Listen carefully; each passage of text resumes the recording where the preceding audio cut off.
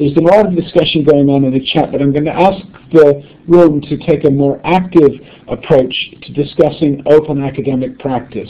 It would be ironic in the extreme if we had a session on open academic practice, uh, particularly following this sort of reflection in action, reflection on action, and just, again, delivered something.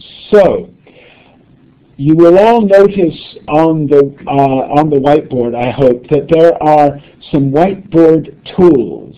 There is, for example, a little uh, a line drawing tool, uh, a pen tool, and uh, if you and you can do things like change the color of these pens. So I've just got myself a purple pen, and I'm drawing on the board. And somebody else's excellent drawing on the board, and so on. Okay, so you're all familiar, or some of you are familiar enough with this, and those of you who perhaps have not done this before will be able to very quickly pick up the process can I call your attention to another one of the tools, which of course is the, uh, the writing tool. Um, you can drop some text on the screen by picking up the writing tool and, and typing it in. So uh, I've just, yes, typed it in, and you can choose serif fonts or sans serif fonts, and you can make them really big, or you can make them more uh, smaller and so on. So the next slide, I love the pictures coming in. Uh, um, I suppose it was probably polite not to have introduced this too much earlier, we could have been defacing um, our colleagues' slides as we go through. Uh, let me turn my video on because people seem to like to have the video. There, can you see my video? Hello everybody. Um, back in with the, the video again. Uh, I guess that's uh, hello. Yep. Um, so I'm going to move on to the next slide, which will be some questions. And what I'd like you to do is using the text tool, write directly onto the board some things that you think are aspects of openness, dimensions of openness. What might be openness for you. And so I'll leave this for just a minute up here, and people are saying sharing, sharing indeed. Um, so let's get some collaboration, free, freedom. That free as in freedom or free as in free lunch? That uh, good old challenge from, uh, oh gosh, I've forgotten his name now, but the whole open source software movement and uh, the GNU open licensing sharing free beer. Openness is being quick to question our assumptions. I think that's really good, being open to yourself.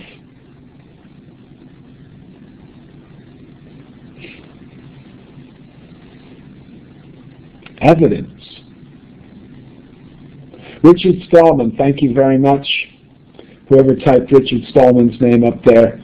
Um, here I will give you a memory stick for your prize. Uh, not that one, I'll have to format it. Um,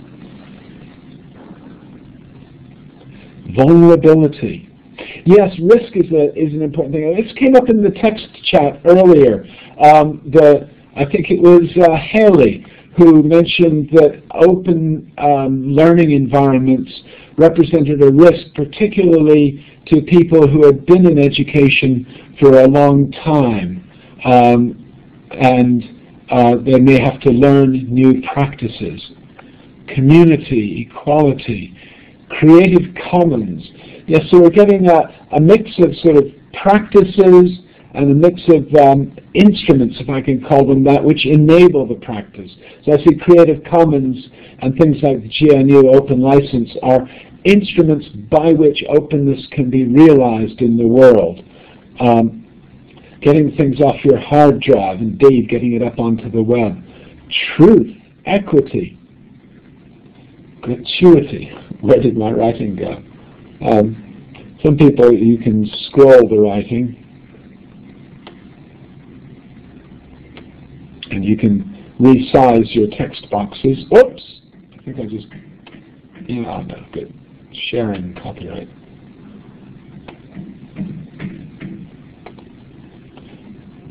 Thank you very much. Okay, um, well we've got the idea. We started to get some um, ideas, and, and, the next slide, uh, again, you may uh, disagree. There's been a tremendous amount here that talks about openness um, and, and what openness might mean for people. I put a few dimensions down which um, in educational practice have been um, around for, for a while. So the openness in respect to time or schedule, openness with start-stop times, openness with pace. So this course isn't entirely open. It has a particular start date, it has a particular end date, there are times when there will be speakers and live sessions. There are times when activities are due and so on. But within that framework, you're free to uh, take uh, your own pace through it. So there's a certain limited openness with respect to time. There is openness, of course, with respect to access. And we don't ask who you are before you join. Uh, we don't ask who you are before you take your assessments. Um, and perhaps these kinds of courses may be ways for people to start to build up a portfolio of formalized credentials without having to um, jump through the kind of hoops that university or other uh, educational institution admission processes sometimes might represent. Uh, open in respect to license again, um, where you'll see on the you see it on the WordPress. I've asked Joe to put it on the Moodle as well, but I haven't seen it appear on the Moodle yet. Um, that this course is licensed um, to the extent that it's within my gift to do so, Creative Commons share alike.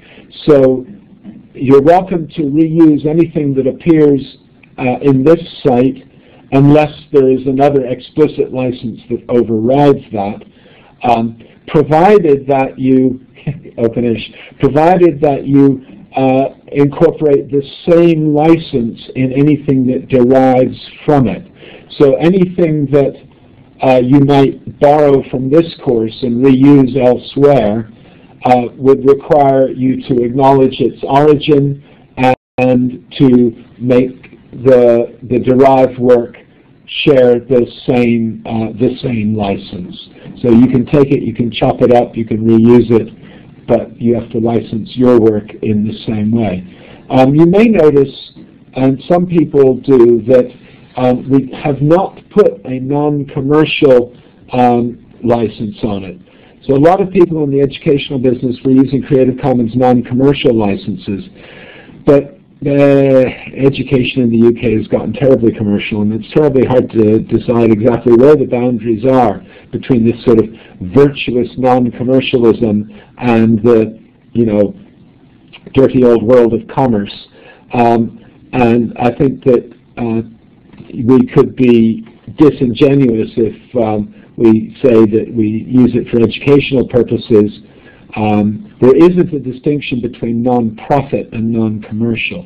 So um, I think we, we made the decision that we would just say it is open, share alike, and um, education as a non-profit or profit-making commercial enterprise is hard to hard to tell. So that's licensing Creative Commons. Um, openness with respect to technology, and this gets into a whole difficult question about access to technology. And well, it may well be open in the Western world. To what extent is it open in some countries where internet access is um, less reliable? Rona noted there were people from South Africa. Uh, there's at least one person from Nigeria on the course. Um, and in some parts of uh, South Africa and Nigeria, there's really good internet access, but in other parts it's extremely limited.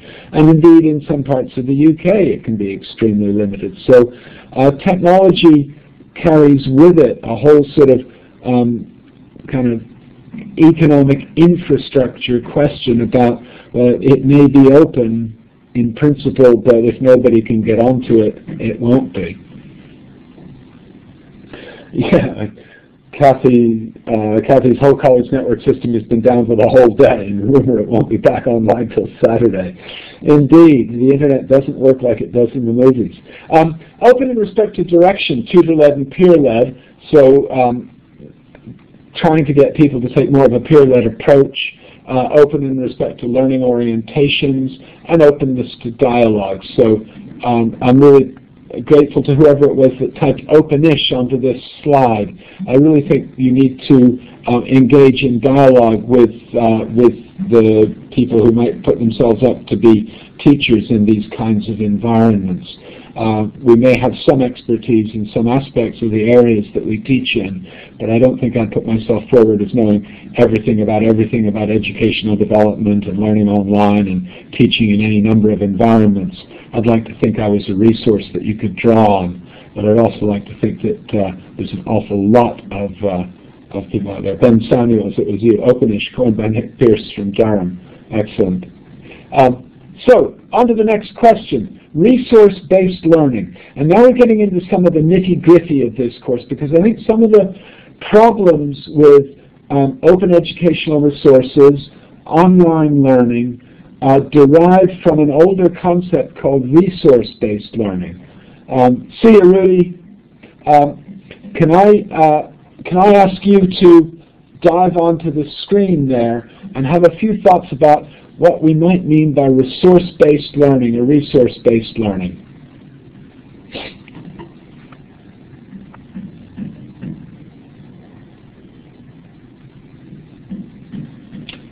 OER are content push, not open learning.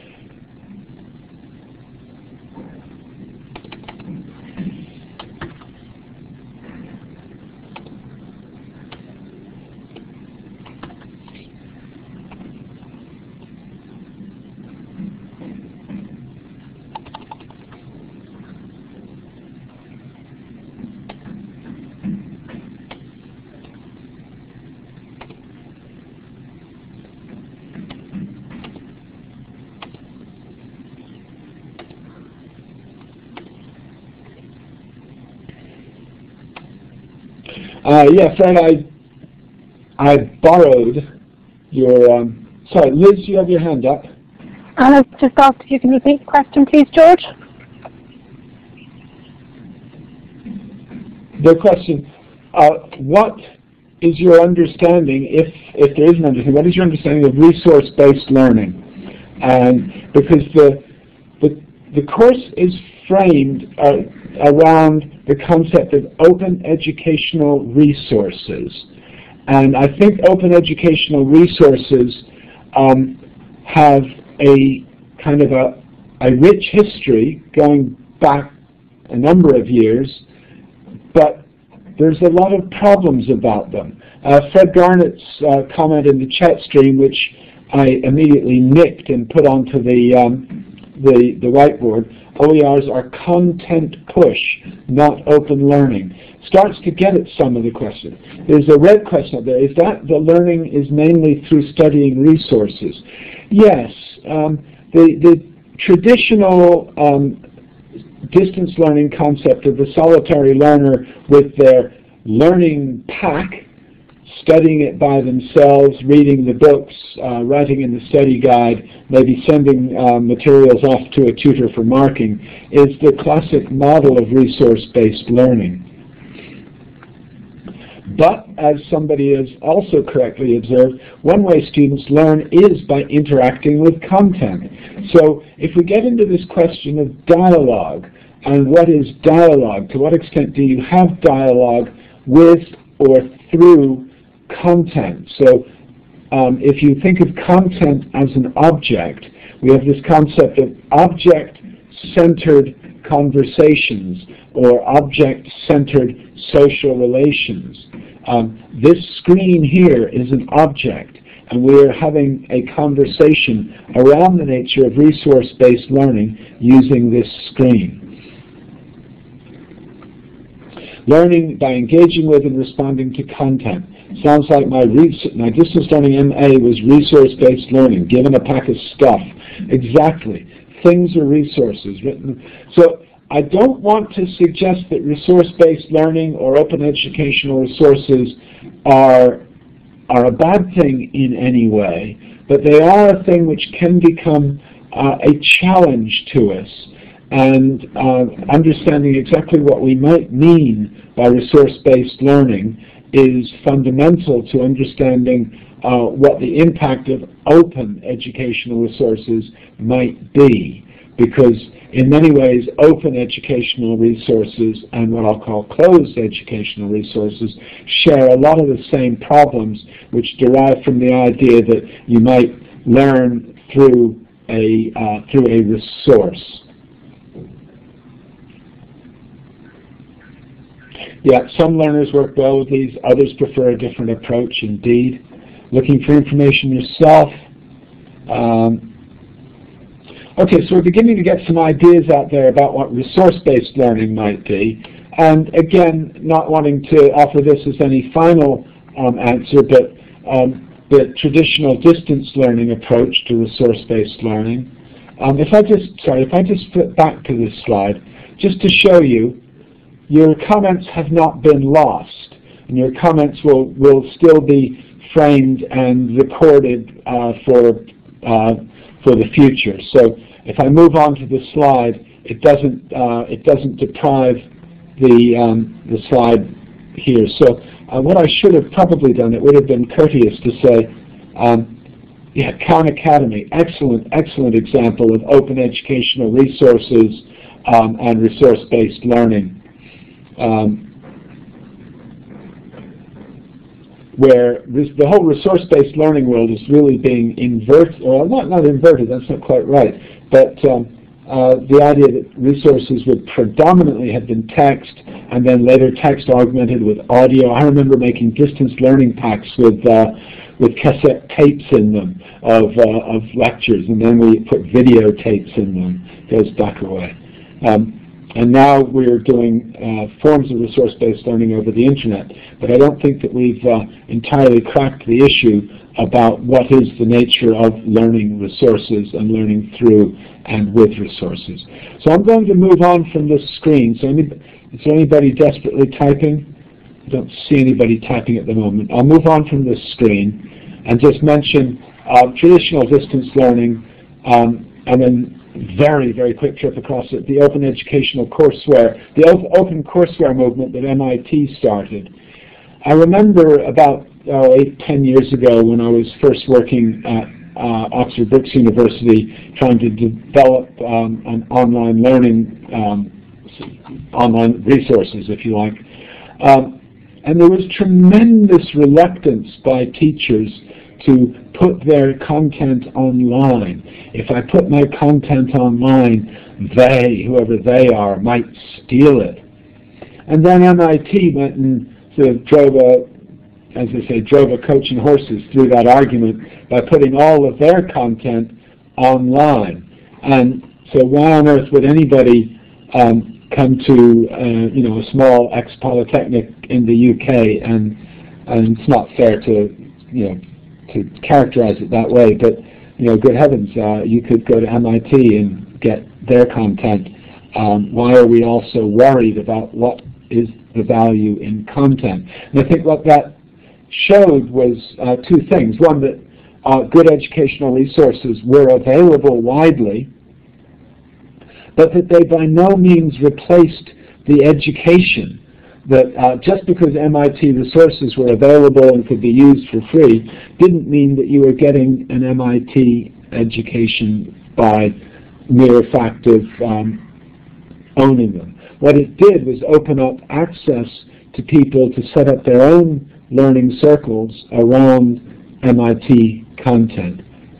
And we're seeing now the open courseware movement being translated into the massive open online learning movement, where MITx uh, launched this year with, um, so not only now does MIT have their open courseware commitment, they're also committed to making many of their courses available in open platforms. So their Foundation to Circuits and Electronics, one of the most heavily subscribed courses at MIT, can now be followed by anybody online. And MIT has joined up with Harvard to produce edX. MITx, now MIT plus Harvard is edX.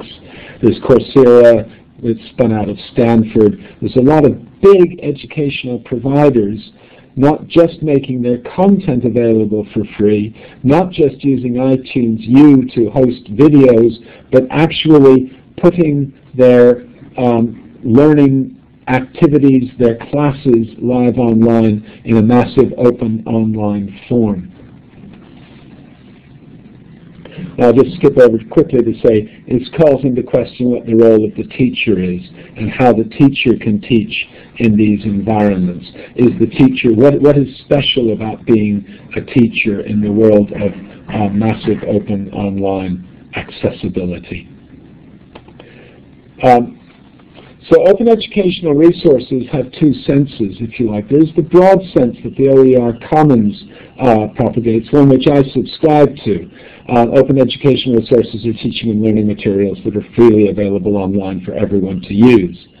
Simple. But in a strict sense, it's come to be a much more closed down phenomenon involving things that are described and discoverable with resource descriptions and metadata disseminated through a formal repository. Rona mentioned our Open Educational Resources repository, deployed through a learning management system and licensed for reuse in some way. So broadly, it's kind of anything, but more narrowly, um, it has these uh, set of um, constraints around it.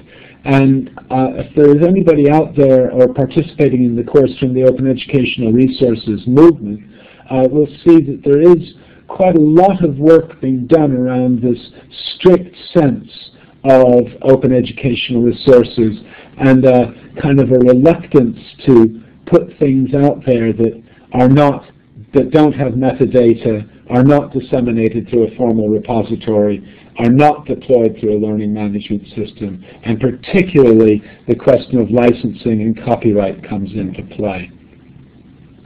We'll talk again more about this will come up through the course. Um,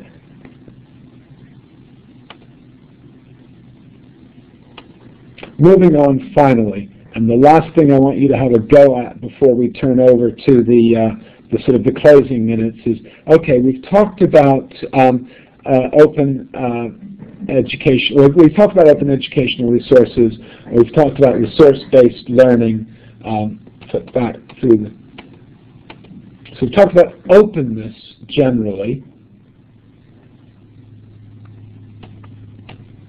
We've talked about resource-based learning generally. So what now might you think of open academic practice? Liz? Yes, Liz? There's a couple of people having problems with audio. Uh, might be worth turning the video, excuse me, might be worth turning the video off for a bit to see if that improves matters.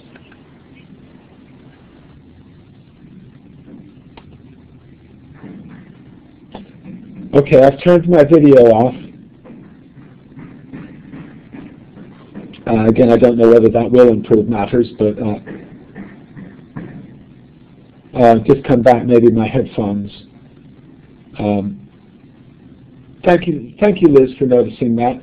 Um, just a little word, if anybody's thinking of going into using audiographic environments for learning and teaching, you really need a uh, I suppose it's not, I was going to say a wingman. Um, you need somebody, uh, uh, somebody to monitor the the channels, and uh, uh, Top Gun here.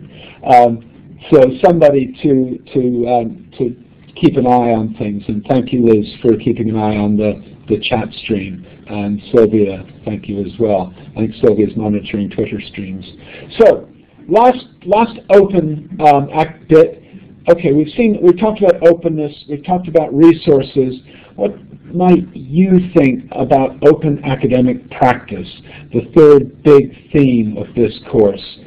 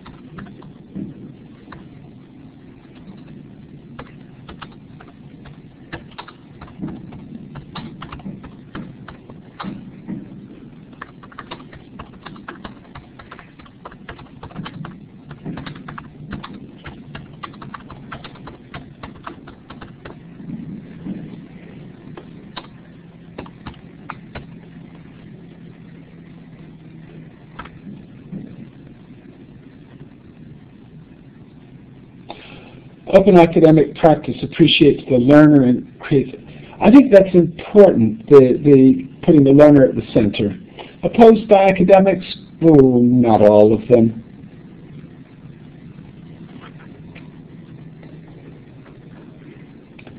Yeah, it's time to get the hang of the typing. Um,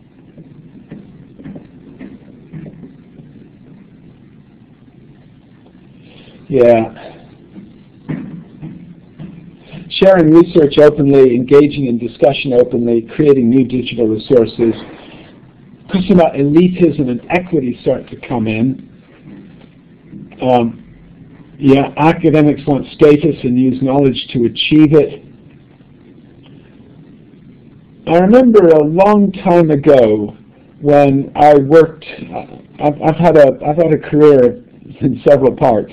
Um, uh, probably we'll go back to it, but from uh, for about 10 years I worked in restaurants as a professional chef before I went back to university and finished my undergraduate degree and ended up graduating with a BA in English and at that time five years of experience in the kitchen, um, one of which was one of which got you a job, the other one didn't. Um, anyway, I worked in uh, in kitchens for a while, and I worked with a chef who um, whose belief was that you you, you didn't hide your recipes. You told everybody um, how you made whatever it was that you made. And uh, his argument was that if he kept things secret, then he would have no um, reason to grow, no reason to improve. And he, he initially worked at a competitor restaurant to the one that I worked at. And I was there hanging out in the kitchen chatting with him while he was doing the service for, I don't know, 50, 60 people or something like that and the boss walked in and was like, ah, what's he doing here? Uh, anyway, uh, anecdotes about openness. And so I thought this idea, I just thought from a, as a value of being absolutely open. Once you start closing yourself down, once you stop sharing, I think you stop learning. But that, that may be a, a, a naive and idealistic position to take.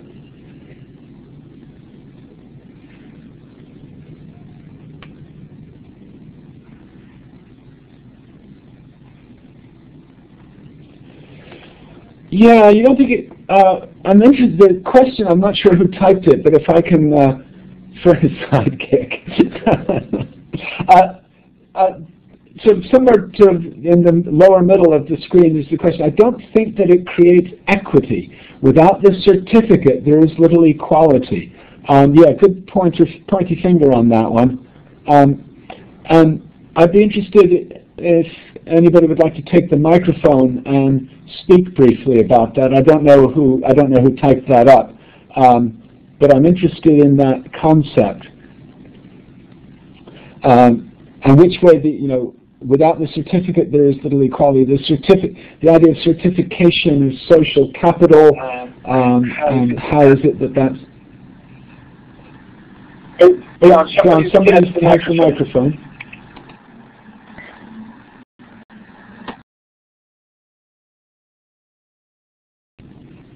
Um, okay, whoever did, uh, please, please speak if you wish. Uh, yes, Liz? Lisette just typed that she typed it, but she doesn't have a microphone, um, so she's typing her comments into the chat. Ah, right. Okay. Thank you. Um, I was just wondering who somebody somebody did try to speak, and then there was a bit of an echo. I turned my microphone off, but then they also stopped speaking. So, if anybody wants to speak, maybe. Hi, this is Catherine. Can you hear me? Hi, Catherine. Great. Yes, I can. I I started the comments about equity, and I do agree that the certificate helps, but I think it's equally as important to embrace the process. So my sense is that reflective practice helps you see the make meaning um, of the experience in a way that can inform your professional career, that helps you um, I think that whether it's an informal process or a formal process, that you have the opportunity through this experience to gain something, to get closer to um, something that's beyond, you know, your institutional walls and silos, but that is in a more open environment in terms of learning. So I just want to add that. Thank you very much for Thank adding you very much for adding that. Uh, can you turn? Uh, Can you we've got turn, an echo. uh, we've got an echo. Uh, thank you. Uh, yeah, um, Catherine, um, was, that was, yeah, it, it is, it is interesting. Fred Garnett, academics are not open. So then, we got a syllogism there. Am I not an academic? Maybe I'm not. Maybe I'm not. One of, the, one of these interlopers here. Speak for yourself. a sponsored academic. Ooh, what's a sponsored academic? I'm going to have to move on from this because we're coming up to, uh, we're, running a little bit late now. Non-elitist. Um, can I move on from this screen? You get paid by the hierarchy. Yes, I do, Fred. Yes, I do. Um, I, I take the king's shilling and uh, get beaten regularly.